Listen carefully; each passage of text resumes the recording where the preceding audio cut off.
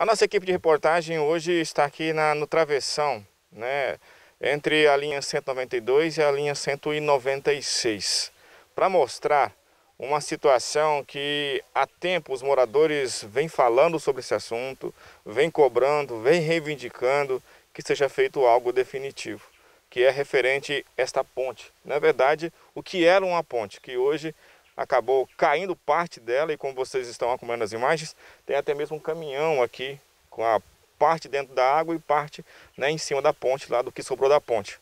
Mas essa situação é uma situação que já vem há anos se arrastando. Né? A ponte aqui estava numa situação precária, praticamente 100% comprometida. Vigas, tábuas, pranchas, enfim, praticamente podres. Essa situação que aconteceu na noite de quinta-feira já era esperada pelos moradores aqui, porque é um travessão que é usado constantemente para travessia, como vocês estão vendo aí, de caminhão, caminhões carregados de leite, mesmo para os agricultores coar as produções para a cidade, aqui para o município de Rolim de Moura. E na noite de quinta-feira, esse caminhão acabou caindo aqui.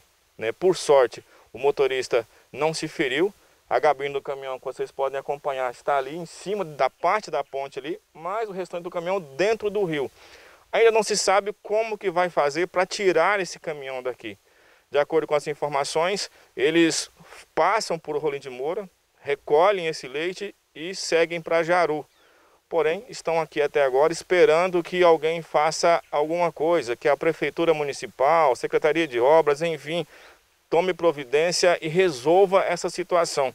Outra preocupação agora também dos moradores aqui é que eles não sabem quando que será resolvido definitivamente essa situação, porque não é de hoje que eles cobram e que eles reivindicam que seja feito algo definitivo aqui nesse travessão, como eu disse, na, entre a linha 192 e a linha 196 no município de Rolim de Moura. Isso aqui já vocês viram, já teve aqui, fez reportagem, né?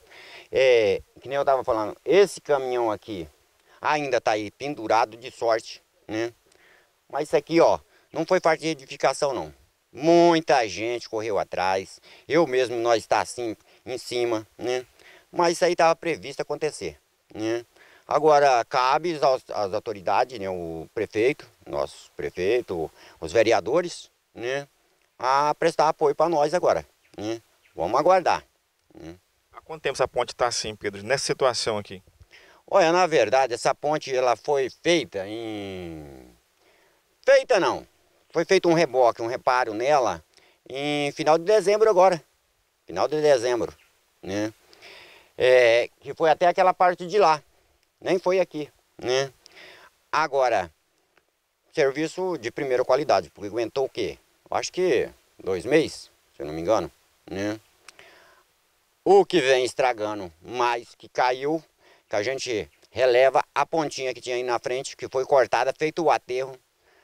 Já foi falado, gente, ó, tem que pôr um bueiro, tem que fazer uma coisa, mas o pessoal não tá nem aí, né? Aí resultou disso, a água de lá escoa tudo para cá. Vocês podem filmar aqui na frente aqui, ver uma água ali empoçada, é questão de 20 centímetros, ela vai começar a jogar para cá e vai começar a atravessar. Aconteceu que nem o pessoal daqui, ó, que está do outro lado lá, ficar ilhado aí uma semana, é, ou mais, mas parece que não dá problema para ninguém, né? Agora para nós, gente, que somos agricultor, dá problema sim. Dá dó desse pessoal aqui. Olha, essa ponte aqui é escoada, agricultura, né?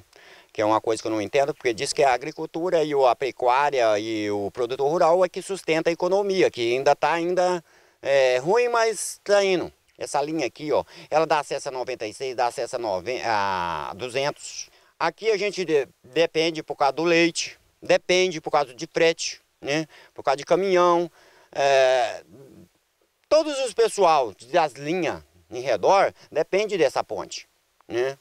Só que é um fracasso, né?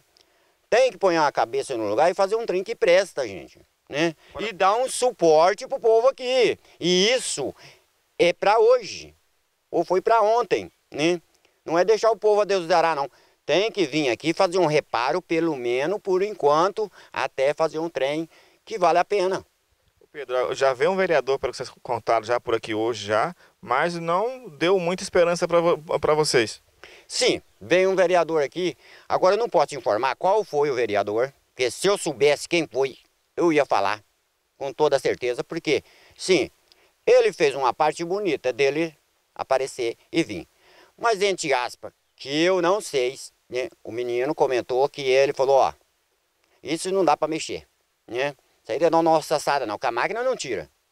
Ah, então, que vereador é esse? A máquina não tira e deixa para lá? Então, eu acho uma coisa meio errada.